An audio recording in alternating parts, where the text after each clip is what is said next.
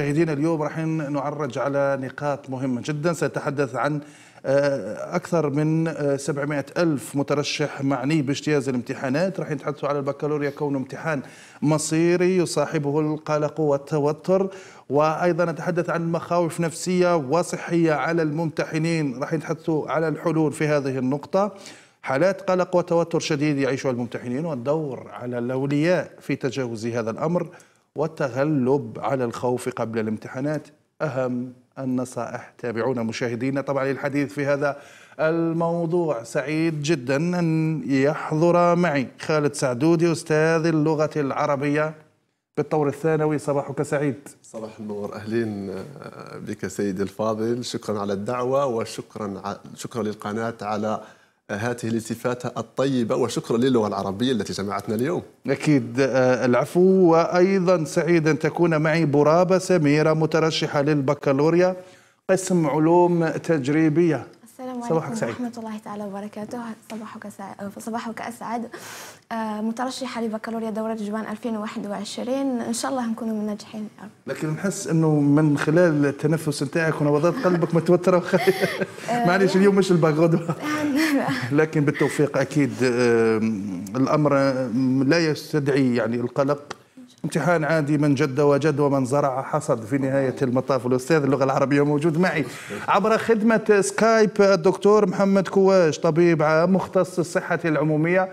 ونعرف أنه الدكتور بعدين راح يحدثنا عن بكالوريات أه، مش عارف ثمانينات ربما دكتور. صباحك سعيد. صباح النور. آخرية تحية لك وتحية للساده المشاهدين وضيوفك الكرام. أه، بكالوريا 92 بكالوريا 92 شفت أنا كبرتك بزاف دكتور. يلا جميل. بكالوريا 92 كانت أصعب ربما من بكالوريا 2021 أكثر وأكثر. وأيضا آه، عبر آه، طبعا الهاتف آه، الأخصائية النفسانية الدكتورة سمية قصير. صباحك سعيد. صباحك أسعد. صباح الخير لكل متابعين قناة نهار تي في. شكرا جزيلا لك على المشاركة. اذا دعونا نبدأ فقط من آه، نقطة آه، البكالوريا. امتحان مصيري يصاحبه القلق والتوتر و آه، سنتحدث ربما عن يوم غد كما قلنا مشاهدينا أزيد من 700 ألف مترشح معني باجتياز امتحانات. غدا المادة الأولى التي سيجتاز فيها المترشحون مادة اللغة العربية. أعتقد لكلا التخصصين. نعم. نعم. إذا اللغة العربية آه، صباح الخير آه، مرة أخرى لك أستاذ خالد. البكالوريا مرة أخرى. آه، صباح النور لنكشف الغطاء عن البكالوريا. طبعا أنا قلت سالفا أو من قبل أنه يا ريت لو نغير هذا الاسم. نسميها شهادة تعليم ثانوي فقط لأنه اسم البكالوريا هو هالة في حد ذاته يعني. البكالوريا فأي مترشح لهذا العام أو أي مترشح اجتاز البكالوريا بمجرد أن يسمع هذا الاسم سيشعر بالضغط بالتوتر. خاصة لما يقال أنه امتحان مصيري امتحان يحدد المستقبل امتحان كذا فهو وهو لا يحتاج كل هذا يعني. لو نطلع تقريبا نتكلم عن البكالوريات التي بدأت وفق النظام الجديد من 2008 حتى اليوم لن نجد بكالوريا صعبة أو لن نجد تلك البكالوريا بتلك الهالة التي يصورها هذا الاسم لأنه دائما تبقى البكالوريا أسهل من امتحانات الفصول بأضعاف مضاعفة لماذا؟ لأن البكالوريا ليست للتلميذ الممتاز البكالوريا للتلميذ المتوسط فتصور معي لو كان التلميذ جيد قليلا طبعا سيكون جيد جدا في البكالوريا. فقط ينبغي له أن يتحكم في أعصابه في نفسيته وأن يكون في يومه. وهذا هو أهم شيء. وهذا المأمول من التلاميذ أو من الأولياء أو من الأساتذة ليجعلوا من هؤلاء التلاميذ محضرين نفسيا. وهذا أهم شيء. أنت تحدثت على التوتر والقلق. خلينا خلينا نروح نشوف الآن سميرة برابه المترشحه للبكالوريا قسم علوم تجريبية آه، قبل ما حالتك النفسية كيف هي؟ نبضات قلبك آه، حالتي النفسية كحالة أي تلميذ سيجتاز هذا التعليم الثانوي بطبيعة الحال كل الضغوطات النفسية يعني ما كل الضغوطات النفسية مسيطرة علي سواء أثناء أثناء الدراسة سواء نعم. في البيت سواء في الدروس الخصوصيه يعني الخوف ملازمني طيله فترة الدراسه متخوفة من ماذا؟ خليني نعاود نرجع لشعورك. متخوفة من ماذا سميرة؟ بالتحديد يعني وش راكي خايفة؟ أنت مناش راكي خايفة؟ أنت ما دامك مجتهدة ما دامك قريتي وش راكي خايفة؟ هي مانيش خايفة بطبيعة الحال على جال مع ال- المواد اللي راح الدروس اللي درسناها أكيد راح تكون طبعا هي تسمى ما كاش حاجة ما درسناهاش راح راح تدخل في في المواضيع. ولكن بالك طبيعة الأسئلة بالك ال- المنهجية بالك خايفة من كاش فخ مثلا؟ بالك أو اختبار للذكاء ربما نهار الامتحان. بالك بالك حاسة روحي ماشي ما ديتش كلش بالك كان نقائص ما ما قدرتش نعاود ندركها في هذه الفترة الصغيرة. وإن شاء الله نكون حصلت يعني أكبر عدد من المعلومات اللي اجتازها. أنا نطمنك أنه كل شيء راح في رأسك. برك خلي خلي نفسيتك مرتفعة لأنه المورال فقط هو لما يكون يعني في ذاك اليوم جيد أكيد راح تكون آه، ستطلقين العنان لعقلك ليشتغل أكثر وأكثر. أكيد راح نعود نرجع لك ونسألك على التحضيرات. أنت ال- البكالوريا آه، أستاذ خالد يعني. آه، طبعا التوتر أو القلق أمر عادي وأمر طبيعي جدا. أنا أستغرب لما يقال لي انه تلميذ البكالوريا أو بعض الأساتذة يقول للتلميذ لا تتوتر لا تنزعج لا كذا لا كذا. هذا أمر عادي جدا أمر طبيعي جدا لأنه أي إنسان لديه امتحان مصيري يعني نقول إنه مصيري فبالضرورة يتوتر. بالعكس تماما إذا لم ينزعج إذا لم يتوتر معناته فيه مشكلة هذا التلميذ. الخوف والتوتر حالة طبيعية جدا. بالعكس إذا لم يحدث هذا يصبح الإنسان غير طبيعي. لكن فقط نحاول أن لا نقول نتحكم وإنما نضبط هذا الخوف وهذا التوتر من خلال أن الإنسان يحاول أن يفعل ما يجب والباقي من الله عز وجل. فقط هنالك نقطة مهمة ينبغي أن نشير لها. الآن لا يوجد تلميذ. ذكرنا العدد أنه أكثر من 700 ألف. لا يوجد أتحدى أي تلميذ يشعر الآن أنه كامل مكتمل في جميع المواد. مركب النقص الذي يستشعره التلميذ الآن أمر طبيعي جدا لأنه لو لم يحضر لما شعر بالنقص. أصلا الله عز وجل يقول في محكم تنزيله اليوم أكملت لكم دينكم وأتممت عليكم نعمتي. والتمام ليس هو الكمال. الآن أي تلميذ حضر ينبغي أن يشعر بالنقص. دائما الخوف من المكسب الخوف من الامتحان الخوف من الأولياء الخوف من من الضغوطات هذه كلها تجعل التلميذ يدخل في هذه الدائرة دائرة الخوف دائرة التوتر لكن أمر طبيعي جدا. فقط نحاول أن نضبطه. ضغط الأولياء ينبغي لولي الأمر لا يدخل التلميذ أو لا يدخل الولد هذا في دائرة مغلقة بمعنى أنه امتحان البكالوريا وانتهت الحياة. لا امتحان البكالوريا امتحان عادي جدا. نعرف كثير من الناس لم ينجحوا في البكالوريا وهم نجحوا في حياتهم وكثير من الناس نجحوا في البكالوريا والآن أنت ترى يعني أكثر مني هذه الأشياء يعني. ف البكالوريا حقيقة هو امتحان مصيري ولا نختلف في هذا. وهذا التوتر أمر عادي جدا والقلق أمر عادي جدا. فقط نحاول أن نضبط هذه الأشياء ليكون هذا التلميذ مهيئ نفسيا. صدقني يا أستاذ رضا أنه العامل النفسي مهم جدا لتلميذ البكالوريا أهم من المعلومات حد ذاتها. جميل جدا. يلا من العامل النفسي خليني نربط الاتصال. دائما مع الأخصائية النفسانية سمية آه، قصير آه، مرة أخرى صباحك سعيد. آه، دكتورة آه، كما كان يتحدث الأستاذ هنا معي في الأستوديو العامل النفسي امتحان مصيري كما قال. امتحان كثير نعطوا له قيمة ربما أكثر من اللزوم يعني وإن كان يعني أمر مهم وهو امتحان مهم. لكن لدرجة التوتر لدرجة ال- القلق لدرجة الدخول في بعض خلينا نقول الأمور الهستيرية ما تقييمك؟ نعم أنا آه، يعني كلمة يعني صراحة أنا كلمة مصيري ما نحبهاش بزاف. لماذا؟ لأنه آه، النجاح في الامتحانات ليس هو النجاح في الحياة. نعم. نشوفوا معظم الع- العلماء معظم ال- العباقرة لم يكونوا متفوقين في الدراسة نتاعهم. كانوا أشخاص عاديين يتعثروا يسقطوا وينطلقوا من جديد. يعني إحنا هذه الأفكار والأحكام المسبقة متداولة في المجتمع نتاعنا آه، ولا الشخص اللي يفشل في الامتحان هو شخص فاشل. هذا خطأ.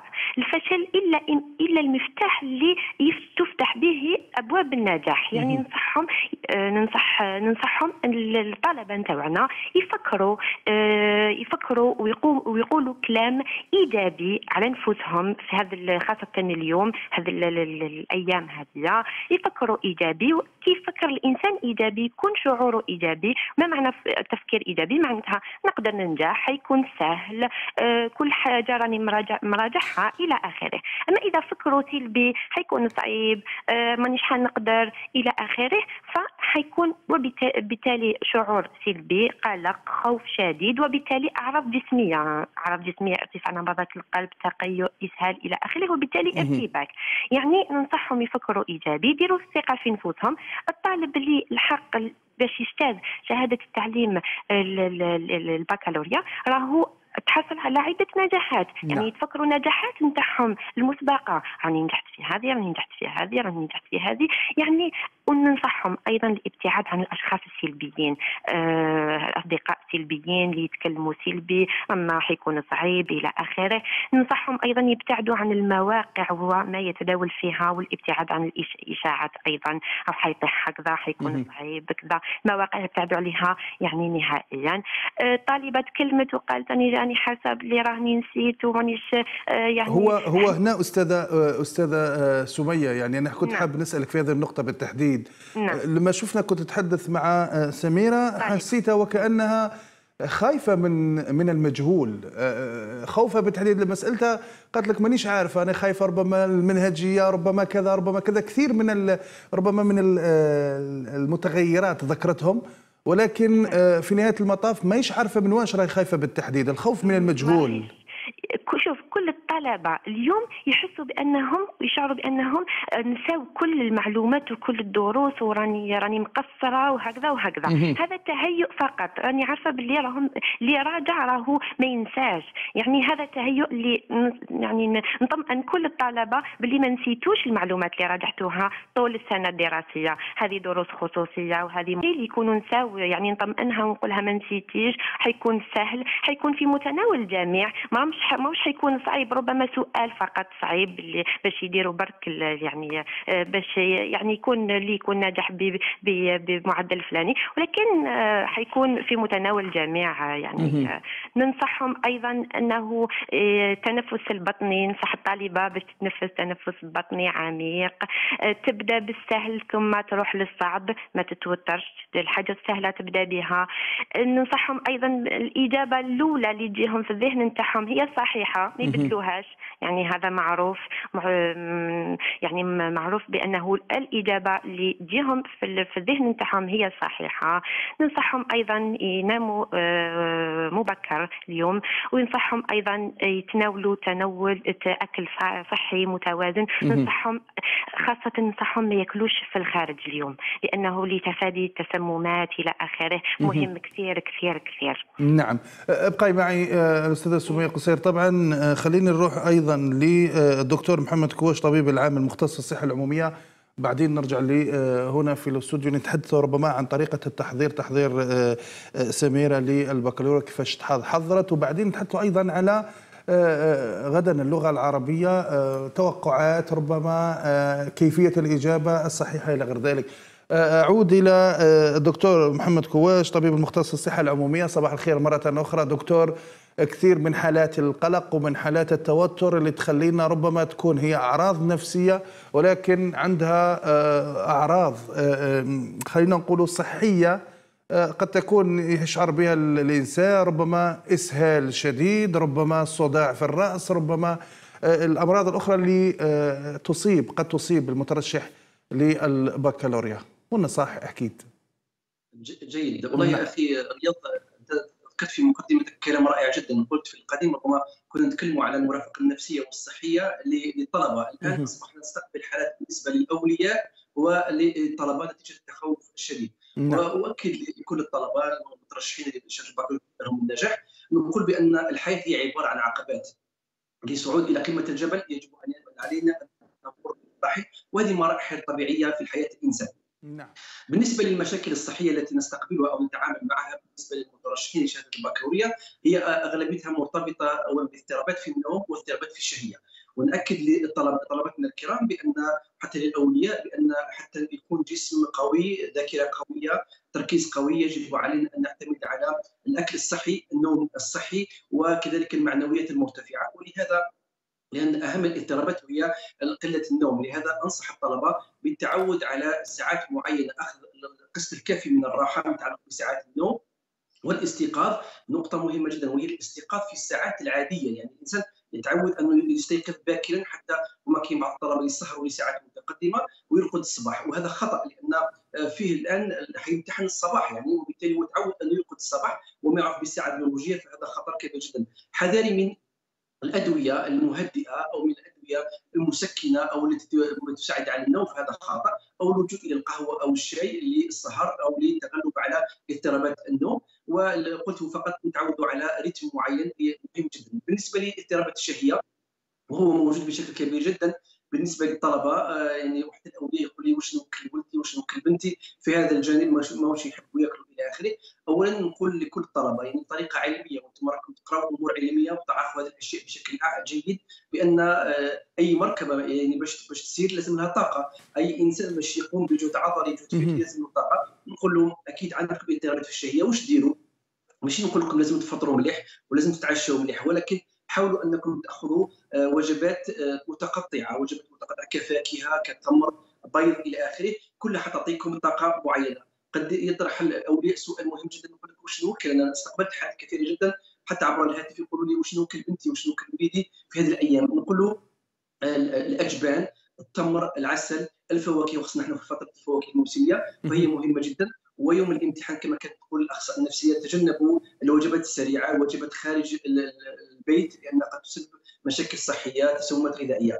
آه، أخي رياض سؤالك مهم جدا. ما هي أهم المظاهر الصحية أو الاضطرابات الصحية التي نستقبلها في قبل الامتحان ويوم الامتحان أغلبيتها متعلقة بانخفاض الضغط الدموي نتيجة قلة النوم أو قلة الأكل أو انخفاض نسبة السكر أو دي ان في يعني حاله من الهستيريا نتيجة التخوف الشديد وفي بعض الأحيان أكرمك الله الاسهال اذا نقول أنها أمور عادية. كما كانت تقول الأخصائية النفسية قبل قليل الإنسان ما شوف مهمة جدا هذه المعلومة.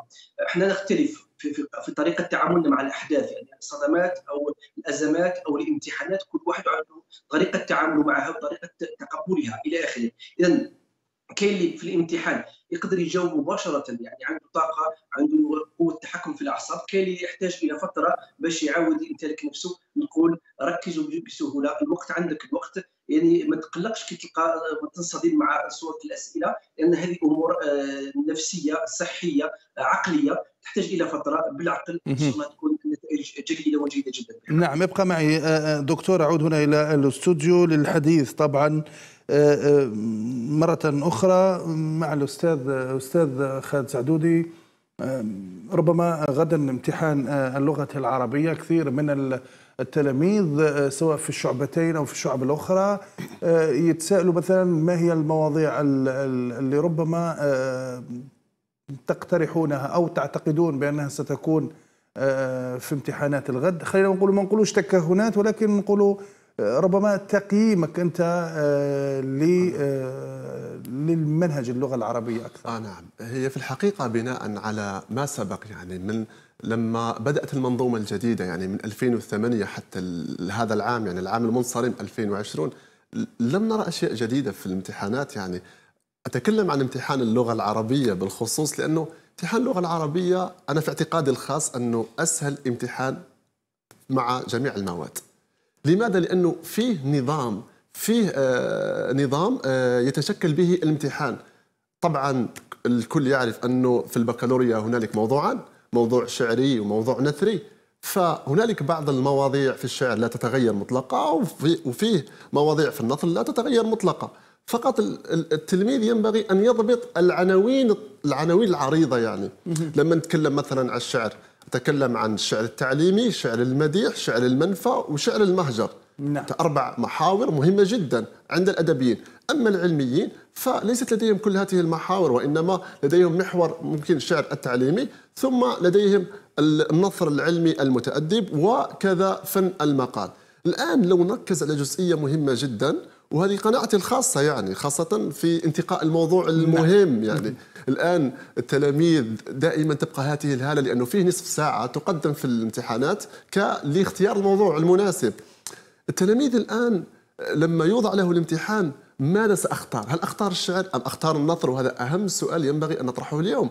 الآن أنا أقول لك بملء الفم يعني ينبغي أن تختار الذي تأخذ فيه أكبر عدد ممكن من النقاط. يعني فيها تكتيك. أي نعم. نعم. تكتيك نعم. لأنه لماذا؟ لأنه هذا امتحان ما نقولش مصيري ينبغي أن لا نهول الامتحان امتحان عادي جدا لكن هنا ينبغي أن تكون براغماتيا نفعيا. نحن لسنا بحاجة إلى استعراض العضلات في اللغة العربية. وين كاين الفايدة تاعي أنا نروح. آه نعم بالضبط. فتقول لي الآن يا أستاذ كيف كيف أعرف كم سأخذ؟ أقول لك أنه مباشرة نحن يعني الجزء لا يختلف اثنان في كون أنه موضوع امتحان اللغة العربية انه يعني فيه بناء فكري وفيه بناء لغوي. بالنسبة للعلميين تسير اقتصاد وتقنية رياضي ورياضيات أما بالنسبة للأدبيين واللغات فيه بناء فكري وفيه بناء لغوي وفيه تقويم نقدي. أتكلم عن العلميين ثم أعود إلى الأدبيين. فيه بناء فكري وفيه بناء لغوي. أكثر جزء يجعلك آه، تضبط نقاطك وتتأكد بأن نقاطك حقيقة ستأخذها هو البناء اللغوي. البناء اللغوي ثماني نقاط عند العلميين والتقني الرياضي وتسير الاقتصاد والرياضيات يمكن لك أن تضبطها. لماذا؟ لأنه نفس الأسئلة أو نقول الأسئلة نفسها من 2008 حتى اليوم لم تتغير إلى حد اللحظة. فيه بعض الأسئلة تأتي بطريقة غير مباشرة لكن طبعا هذا التلميذ ليس أمريكي حتى لا يفهم اللغة العربية. وفوق هذا لغة النثر لغة واضحة وصريحة ولغة سهلة. أصلا الخصائص لما نتكلم على خصائص سواء نثر العلم المتأدب أو نثر أو المقال نقول سهولة اللغة وجزالتها يعني وقوتها لكن سهل اللغة. وأنت عربي يعني لست بالغربي حتى لا تفهم اللغة العربية. فمباشرة لما نذهب مثلا إلى البناء اللغوي لدينا الإعراب نقطتان لدينا محل جمل نقطتان ثم تأتي الصورة البيانية نقطة ونصف ثم الأسلوب نقطة ثم بعدها نختم الامتحان بالمحسن البديعي. طبعا هذه أشياء بسيطة جدا يمكن لأي تلميذ ممتحن في شهادة التعليم الثانوي أن يجيب عليها حتى لو حتى ولو كان مستواه ضعيف في اللغة العربية. نعود إلى البناء الفكري، البناء اللغوي يمكن أن تضبط نقاطك، في البناء الفكري يا أستاذ رضا هنالك نقاط مجانية يأخذها التلميذ بالمجان. المشكلة أنه أغلب التلاميذ آه، يأخذون عما يسمعون من المواقع وهذا خطأ. في كثير من الأحيان فيه إشاعة يعني ينبغي أن أنوه لها. آه، أستاذ أنا ندير الشعر لماذا؟ لأنه راهم يقولوا باللي الشعر يمد عليه العلامة. طبعا أنت من سألت؟ سألت الشارع راهم يقولوا هكذا. الآن أنت لما تكون مريض هل تذهب للطبيب أم تذهب إلى الشارع ليجيبك؟ تذهب إلى الطبيب. إلى الطبيب منطقيا. فاذهب إلى الأستاذ المتخصص في المادة. هو من سيخبرك أين ستحصل العلامة الأكبر. فالكل يعتقد أن الشعر هو من ستأخذ عليه علامة ممتازة وهذا خطأ. أنا عن نفسي أقولها بملء الفم وعن قناعة تامة أنه النثر يمكن لك أن تأخذ فيه علامة مميزة جدا وأسهل من الشعر في كثير من الأحيان خاصة البناء الفكري. أقول لك لماذا؟ ينبغي أن, ينبغي أن يكون كلامنا مؤسسا. لو نذهب البناء الفكري الآن سأشرح الموضوع كيف سيكون. البناء الفكري لدينا أول سؤال سؤال عام. السؤال العام هذا تكلم عن النثرة السؤال العام ما القضية التي يعالجها الكاتب في النص؟ ما الموضوع الذي يعالجه الكاتب في النص أو عما يتحدث الكاتب في النص؟ هذا السؤال عام.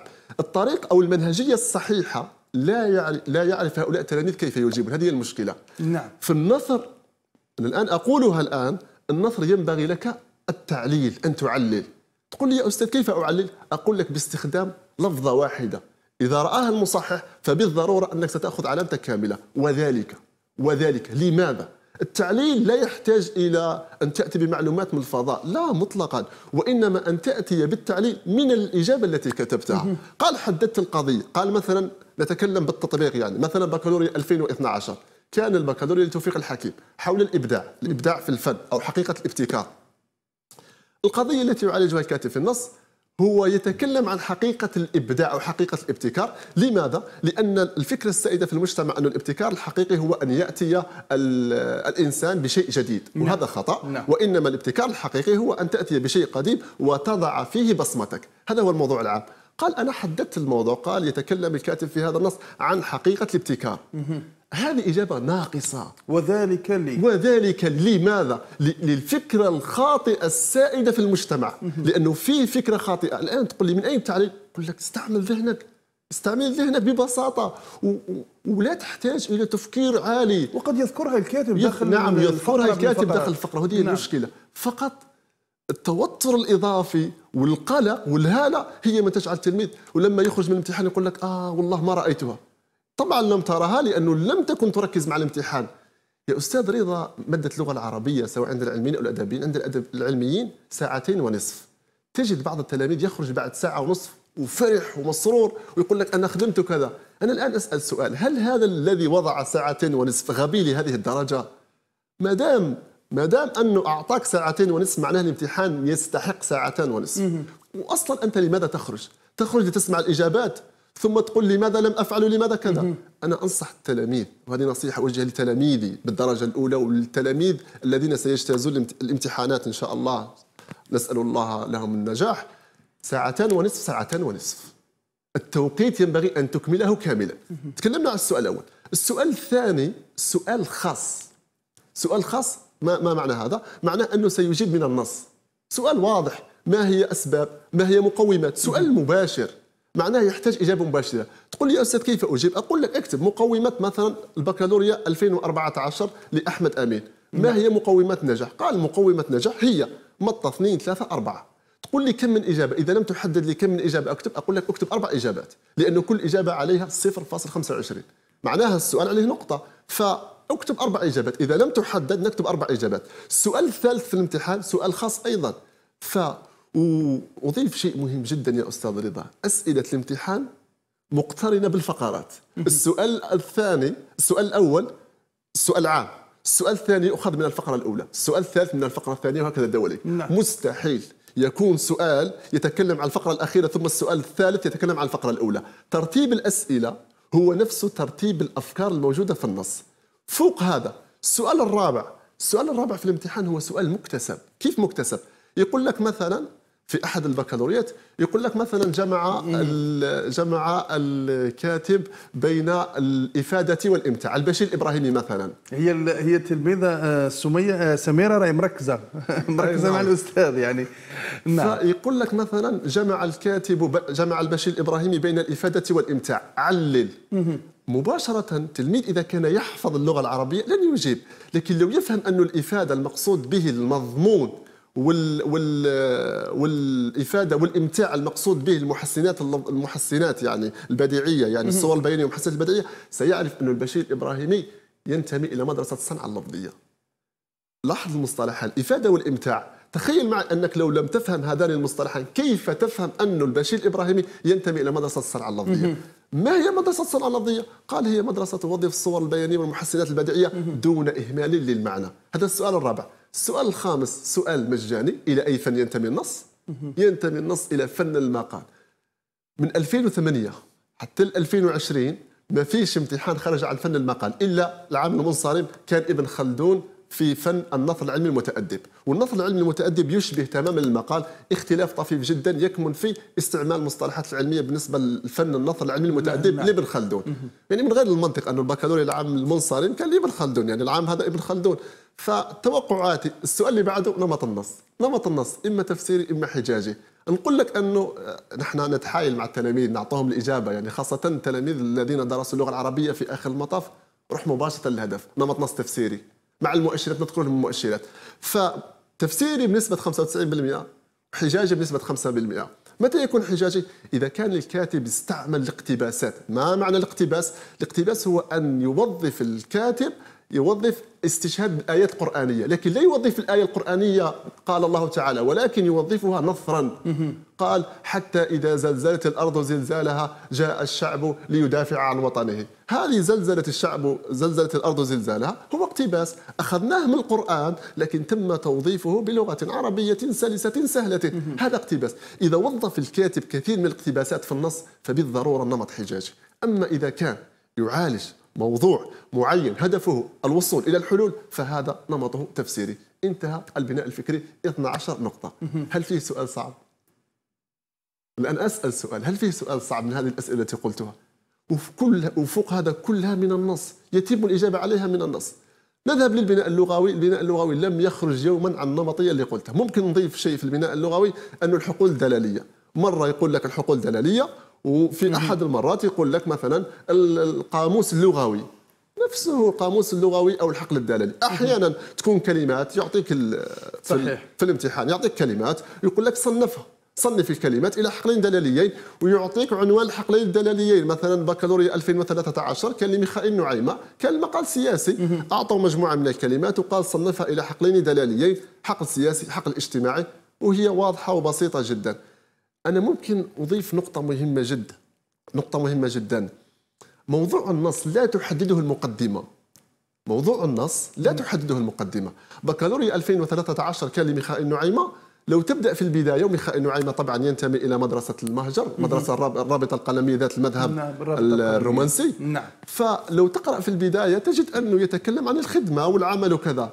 فالذي يغتر بالبداية يخطئ ويضعه مقال اجتماعي وهذا خطأ.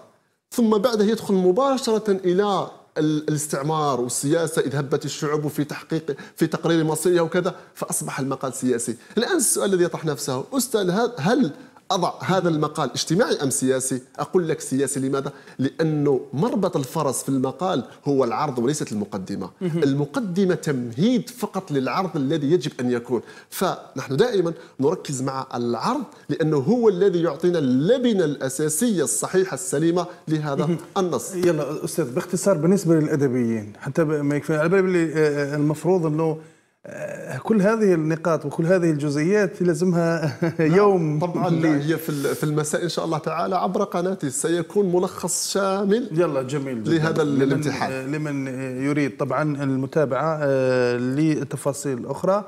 آه، بالنسبة ل- آه، ل- للأدبيين بالتحديد لأنه اللغة العربية معامل كبير جدا. معامل خمسة، نعم. بالنسبة للأدبيين يلا على وش يركزوا؟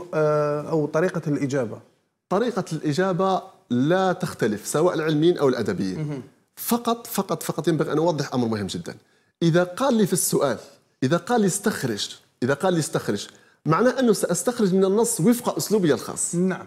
أستخرج وفق أسلوبي الخاص. إذا قال لي في السؤال مثل من النص ينبغي أن أستعمل مصطلح مصطلحا مهما جدا ويظهر ذلك في قول الكاتب ي- أو يظهر ذلك في قول الشاعر أو يتجلى ذلك. هذه المصطلحات ينبغي أن تستعمل لأنه المصحح اعتبر أن المصحح لا يعرف شيئا وفوق هذا المصحح لا يعرفك يعرف ورقتك فقط فينبغي أن تجعل من المصحح انسانا لا يعرف شيء. اكتب كل شيء بالطريقة التي تجب. أقول لك أهم الترشيحات يعني تتكلم عن العلميين. العلميين بالنسبة لل- للشعر والنثر لدينا الشعر السياسي التحرري القضية الفلسطينية والقضية الجزائرية. هو هذا اللي كنت حنقول لك يعني ما دام قضية لن فلسطين أكيد يخرج عن هذا فلسطين فيها. لن يخرج عن هذا. إذا كان فقط أنوه إلى نقطة مهمة.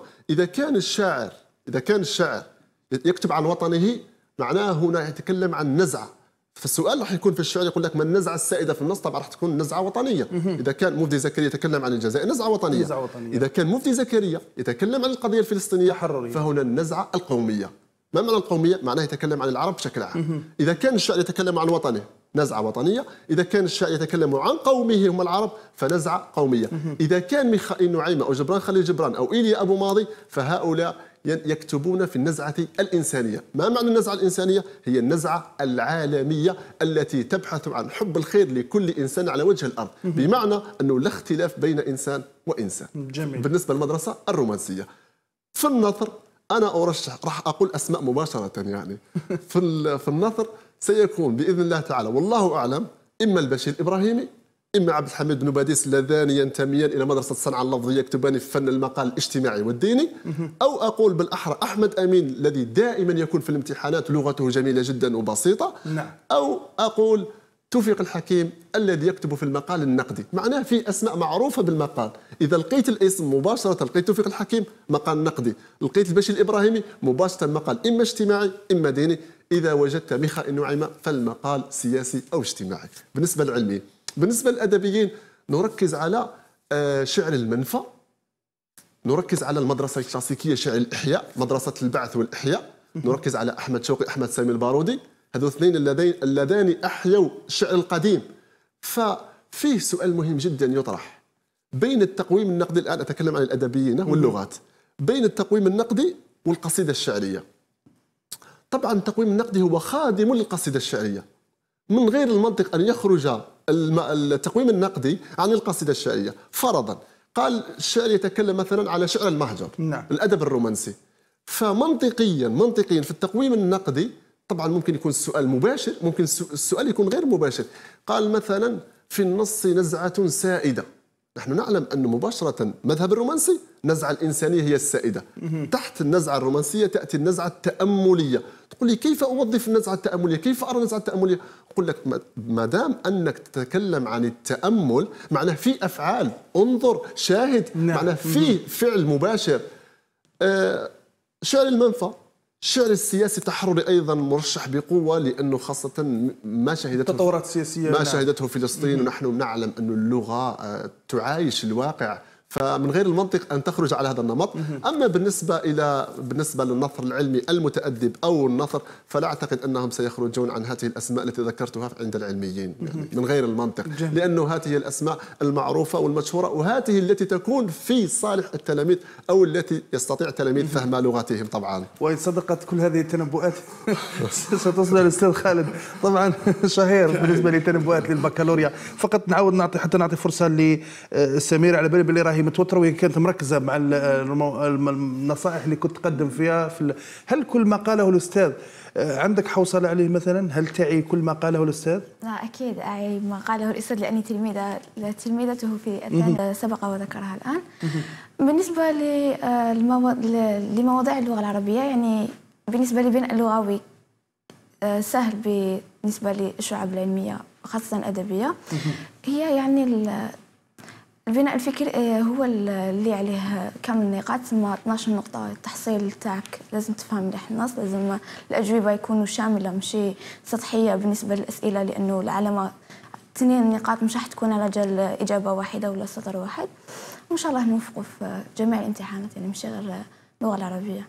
مهم. بالنسبة لنصائح الدكتور وبنصائح آه، الأخصائية النفسانية. إن شاء الله سأسعى إلى أن أعمل بها. بالنسبة لل- للضغوطات النفسية الوالدة الكريمة والوالد يعني راهم ملازمين طيلة الفترة طيلة العام الدراسي. يعني كأنهم اللي حنيجوا باك ماشي أنا؟ يعني دايما ينوضوني صباح يكملوا معايا يرافقوني دروس خصوصية دعم راحة نفسية سواء من خلال ال- هل تشعر سميرة هل تشعر يعني. سميرة بال هل آه، تشعر سميرة الآن يعني آه، أو آه، خلينا نقول اليومين هذو ولا الآن وأنت معنا هل تشعرين مثلا بتعب بإرهاق مثلا أكيد تعب كان يعني التحضير للبكالوريا كان طيلة العام الدراسي خصوصا هذه الفترة يعني الأيام الأسابيع الأخيرة كان يعني تكثيف المجهودات باتباع برنامج مكثف من غير من غير التحضيرات من غير قبل التحضيرات. يعني اليوم خلينا اليوم باش لأنه الدكتور معنا موجود حتى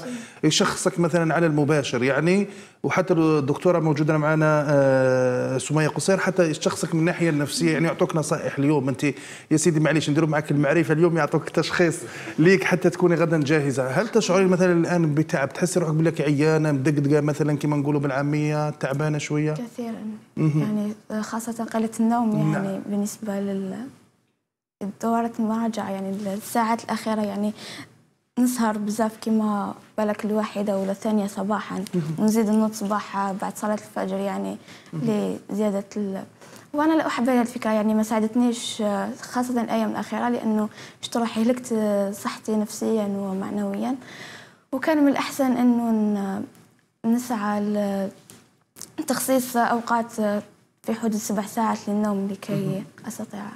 جميل. يلا خليني ننتقل مباشرة إلى الدكتور محمد كوش. دكتور آه، آه، أنا فضلت أنه أنت ت- تشخص لنا الحالة الآن. يعني أنا أنا حبيت نكون ذكي شوية وإن شاء الله نكون ذكي. حبيت فقط أنه نشخصوا حالة آه، سميرة حاضرة معنا. قالت لك بأني أشعر بالتعب. سألتها قلت لها راكي تحسي بالتعب تحسي روحك مدقدقة قالت لك إيه راني نحس روحي تعبانة وكذا. دكتور أريد منك حلا سحريا لهذه الفتاة.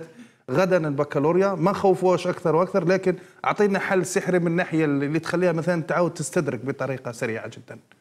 جيد والله. نقول ما تقلقيش يعني هذه أمور عادية. الإنسان يشعر بالقلق يشعر باثاره في النوم. هذاك الضغط اللي ظهر عليك يعني مثل صيام شهر رمضان يعني الانسان بعد رمضان يعني بعد فترة المراجعة تحسي بال- بهذا الارهاق نقول لك حاول إنك تنامي ال- في يوم القيلوله اليوم القيلوله ساعة ساعتين حتى نصف ساعة هي كافية لاسترجاع الطاقة. نأكد على أكل ال- الفواكه التمر والنصيحة للاولياء يعني نقول لهم حضروا لأولادكم واش يحب يأكل لأن الجسم يعني يتفاعل بشكل رائع جدا مع الأكل التي يهواها الجسم الإنسان فهذا يعطيه الطاقه نقول لها ما تقلقيش أمور عادية. أه، حاولوا تأخذوا راحة في هذا اليومين يعني هذا اليوم قبل الامتحان نأخذ راحة نرقد.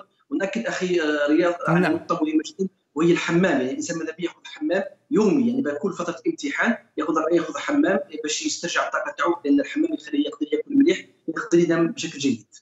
جميل. نقطة أخرى. أنا جتني الآن دكتور قضية المنشطات أو المواد المنشطة. كثير من التلاميذ يقول لك نروح نشرب مثلا مانيش عارف أنا حاجة اللي تنشطه فيلجأ إلى تلك المشروبات المنشطة.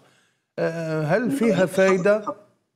لا لا لا أنا أحذر منها بشكل كبير نعم. جدا إن بعض المنشطات المشروبات اللي تباع آه، من خلال كما كان يقول الاسئله قبل قليل ما يشاع في وسائل التواصل الاجتماعي كمواد تشجع تعطي طاقه وتعطي التركيز في الدراسة. فهذا غير صحيح تماما. الإنسان يعيش طبيعي يأكل طبيعي ويلجأ إلى قلت إلى الفواكه وهو شيء جيد. هو التنظيم أنا أؤكد جيدا هو التنظيم. الإنسان يحاول ينظم نفسه لأن حتى لأن كانت الأخت الطالبة قبل قليل تقول بأن نسهر لساعات متقدمة وهذا خطأ لأن أن فترات الجسم إذا كان تعب ما يقدرش تحصل على المعلومة. ما فيش مشكل هذا الأمور تحدث لنا كلنا مرينا بهذه المرحلة فهي أمور طبيعية وإن شاء الله تكون نتائج رائعة ورائعة جدا للجميع. فقط كونوا جيد كونوا طبيعي يعني طبيعي. والشيء موجود الآن متوفر من الخضر والفواكه. تحتوي على لأن نأكد على الخضر والفواكه انها تحتوي على سكريات أملاح وماء. نشرب اكبر كميه من الماء ونلجا إلى العصائر المستحضرة في البيت أو العصائر الطبيعية أو التمر والبيض وبعض الحلويات مهمة جدا في هذه الفترة. وإن شاء الله يكون النتيجة ونكون موفقين إن شاء الله للجميع إن شاء الله إن شاء الله يا دكتور وإن شاء الله ناكلوا ناكلوا الفال نتاع النجاح نتاع سميرة. وأنت تحضر معنا ولا يجيك حقك حتى للدار. يعطيك الصحة دكتور بارك الله فيك. بارك الله فيك دكتور آه، محمد كواش. طبعا عبر خدمة سكايب الطبيب العام المختص في الصحة العمومية أعطيت نصائح وشخصت آه، حالة آه، سميرة معنا كما قال لك الدكتور يعني خذ هذا النقاط بجدية. خليني راح نرجع لكم أكيد. نعود ناخذ أيضا الأستاذة سمية قصير آه، آه، دكتورة ربما نصائح آه، تقدميها لسميرة وللكثير ممن سيجتازون غدا بحول الله شهادة البكالوريا خاصة الأولياء. الأولياء اللي ربما يضغطوا على أبنائهم أكثر وأكثر ويحسوهم أنه البكالوريا بعبع والناس يعني لازم أولادهم وبالتالي يخافوا أكثر وأكثر. نعم نقول الأولياء يبتعدوا عن التهديدات نعم. عن الألفاظ السلبية على الصراخ على الضغط. العنف البدني اللفظي هذا كل كل هذا راهي تأثر سلبيا على على على الطلبة. أه نقول لهم يبتعدوا عن عن الابتزاز. أه رانا نشوفوها بزاف كثير في, في, في مع الأولياء. أه رانا قمنا معكم بجهد جهد معنوي مادي. صرفنا بزاف على الدروس الخصوصية فلازم تفرحونا. هذا ضغط على على التلميذ. نقول لهم عوض هذه التهديدات وهذا الكلام شجعوهم حفزوهم رفعوا معنوياتهم غرسوا ثقة في نفوسهم قادرين قادرين تنجحوا نديروا فيكم ثقة إلى آخره. وحتى وإن رسبتوا مازالوا فرص أخرى في حياتكم باش تنجحوا وتبقاو دائما ولادنا ونحبوكم. يعني هذا كل هذا يرفع معنويات التلميذ. ننصح الطلبة أيضا يديروا ثقة في نفوسهم آه، يتنفسوا تنفس بطني عميق يناموا باكرا ياكلوا أكل صحي. آه، اليوم يقوموا بأشياء يحبوها. آه، مثلا المشي مثلا يسمعوا موسيقى. دونك هذه كل هذه ياخذوها بعين وحتى وننصحوا الأولياء أنهم يفشوا اليوم اولادهم يعني. أكيد أكيد أكيد. نعم. اليوم نهارهم إن شاء الله. نعم, نعم. بحول الله. ربي يوفق كل الطلبة إن شاء الله. إن شاء الله. شكرا جزيلا لك الأخصائية النفسانية سمية قصير. طبعا كنت معي عبر الهاتف. شكرا جزيلا لك لهذه النصائح أستاذ في الأخير. أه، ربما مش تقدر يقول الأستاذ خالد سعدودي أستاذ اللغة العربية لتلاميذه ولكل المقبلين غدا على الامتحان طيب اللغة. سأكون عمليا أكثر لأنه فيه امتحان معي. هكذا على الأقل ليرى لكن الوقت. تلميذ البكالوريا بشكل عام جدا يعني. امتحان البكالوريا غدوه بإذن الله تعالى. بالغد إن شاء الله سيكون له امتحان مثل هذا يعني. فيه موضوع شعر فيه موضوع نثر أول شيء ينبغي أن يحسب النقاط. أين سيحصل أكبر مج... أكبر مجموعة من النقاط يعني؟ أين سيحصلها؟ بعدها يقطع الامتحان. فالذي الذي لن لن يجتازه إما أن يرمي به وإما أن يقطعه تماما. لا يترك امتحانا فوق الطاولة. هذا أكبر خطأ. لأنه إذا ترك الموضوعان فوق الطاولة س سيخوض في موضوع وعقله يبقى يرتكز على الموضوع الآخر. يبقى مشتت نعم. إذا نعم. اختار موضوع يقطع الموضوع الآخر. هذه النقطة الأولى. النقطة الثانية لما يخرج من الامتحان يأخذ وقته كاملا. النقطة الثانية لما يخرج من الامتحان حبذا أو أو أجعله أمرا له. ينصرف. لا تسأل عن امتحان قد اجتزته انتهى.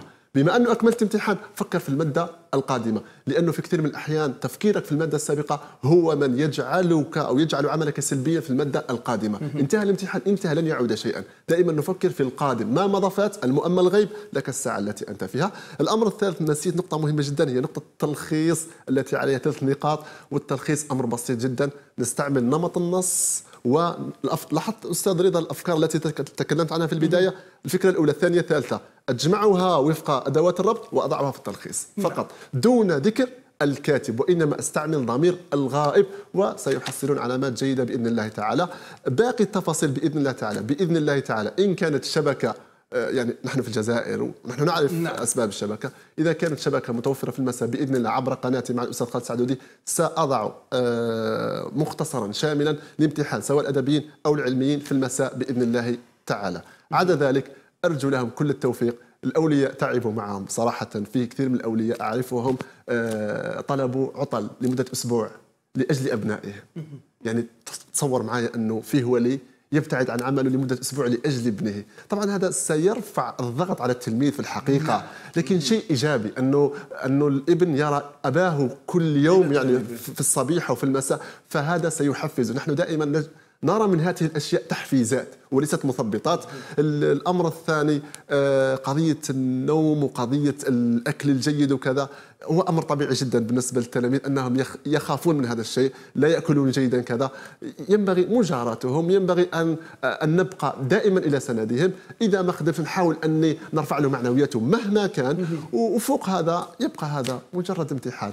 آخر شيء أرجو لهم كل النجاح. لأن الأولياء تعبوا وهم تعبوا والأساتذة تعبوا. الذين يعملون بالضمير طبعا سأركز على هذه. الذين يعملون بضمير للسنوات النهائية عدا ذلك أرجو لهم كل التوفيق والنجاح لأن نجاحهم هو نجاحنا بالدرجة الأولى. في الحراسة يعني. طبعا. يلا. لكن أنا معفى من يوم الغد لأنه مادة اللغة العربية. أكيد أكيد. فسنبدأ من الاثنين إن شاء الله تعالى. نعم. طبعا أرجو لهم ستعيش الأجواء. كل مرة أخرى آه، ستعيش آه أجواء البكالوريا. صدقني أستاذ رضا أني أعيش أجواء البكالوريا منذ دخلت المدرسة. يلا جميل والحمد جدا. لله. نتمنى لك طبعا أنت أيضا التوفيق لأنه تلاميذك أيضا في هذا آه طبعا.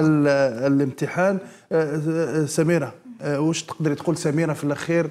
للناس اللي من آه، أو للتلاميذ اللي كما انت قبل أن أنسى نعم. هي من أنجب تلاميذي الذين تشرفت شهادة يلا هذا محفز. آه نعم. يلا محفز هذا.